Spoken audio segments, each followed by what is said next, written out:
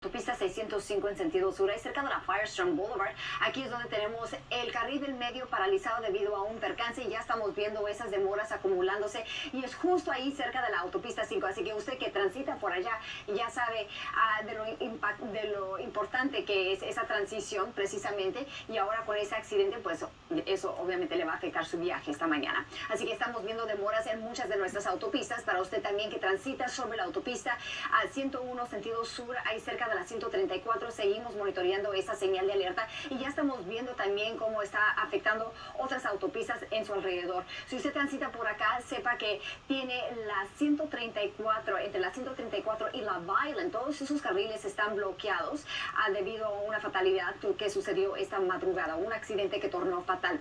Va a querer usar la Riverside, sigue siendo una de las mejores opciones que tiene y recuerde que cerca de la Laurel Canyon, también sobre la autopista 101 en sentido sur, aquí también es donde tenemos un accidente que también está paralizando por lo menos uno de sus carriles, así que el tráfico cargado esta mañana sobre la 101. Ya, ya vemos